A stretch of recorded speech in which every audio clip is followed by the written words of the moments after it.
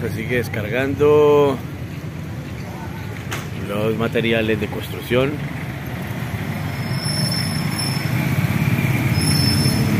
Hoy es 10 de julio de 2003.